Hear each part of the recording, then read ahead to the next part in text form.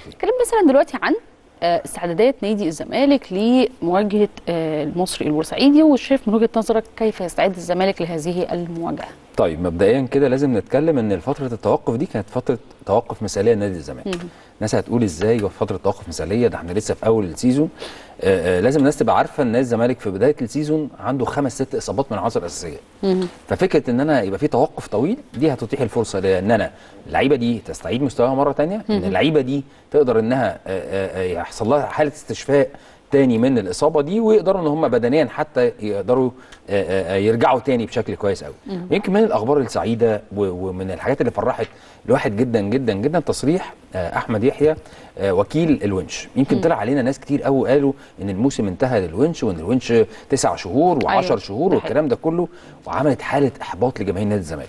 زي ما انت عارفة قيمة الونش قيمة كبيرة جدا جدا عند جماهير نادي الزمالك لأن واحد من أفضل المدافعين الموجودين سواء في أفريقيا. نادي الزمالك أو في منتخب مصر أو في أفريقيا. عموما فهو يعني مدافع متكامل دي حقيقة. فكان في حالة من الإحباط كبيرة جدا عند جماهير الزمالك إلى أن صرح وكيل أعماله قال يا جماعة ما فيش الكلام ده خالص لسه لم يتحدد حتى الآن المدة وإن كان مبدئيا غياب الونش هيكون من شهرين لثلاث شهور. يعني يعني انت متخيله ناس كانوا لسه من يومين بيقولوا الونش هيغيب تسع شهور عن نادي تسع شهور، الزمالك تمن شهور، والموسم فعلا. انتهى بالنسبة له ويطلع وكيل اعماله بيقول ان إحنا مبدئيا مبدئيا الغياب من شهرين لثلاث شهور. فدي حاجة كويسه قوي قوي.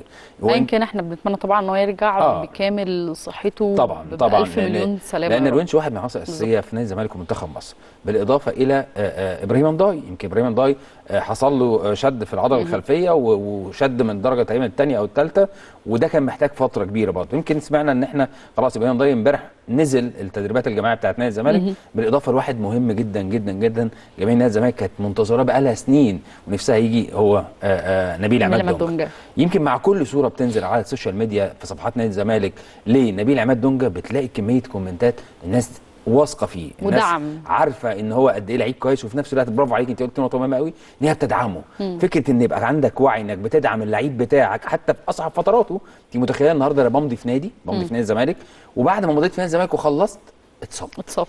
وإن كان كمان أنا سمعت إن هو اتصاب قبل اليوم اللي في يوم دي في نادي الزمالك. انت متخيلة حالة سوء التوفيق وسوء الحظ اللي عنده؟ ولكن جمهور واعي زي جمهور نادي الزمالك جمهور بيدعم كل لعيبته وعنده وعي كبير جدا بالحالة النفسية بتاعت اللعيبة فهو ماشي في طريق الدعم لنبيل عماد دونجا وإن شاء الله دونجا يرجع يستحق دونجا برضه لاعب يرجع كبير آه، طبعا بشكل كويس يا. رب إن شاء طبعا الله. خط نص ملعب نادي الزمالك أعتقد إن هو دلوقتي يبقى واحد من أفضل خطوط آه، نص الملعب في آه، آه، مصر خاصة كمان موجود عمرو السيسي اللي بقى عضو في منتخب مصر بعد انضمامه لنادي الزمالك. فأنا شايف إن شاء الله بعدها بمباراتين بالظبط. آه آه بعد مباراتين في نادي الزمالك. فأعتقد إن نص ملعب نادي الزمالك اللي كان صداع عندنا السنة اللي فاتت وطول الموسم السنة اللي بنقول ما عندناش نص ملعب. وإن كان محمد أشرف هو أدى دوره بشكل كويس قوي لازم أحييه. ولكن الحمد لله إحنا عملنا صفقات كويسة جدا. أما استعدادات نادي الزمالك فأعتقد يعني إن هو إن شاء الله كان رقم واحد المقام الأول إن أنا عودة المصابين بشكل كويس قوي وتجهيزهم بشكل كويس قوي لمباراة الدوري.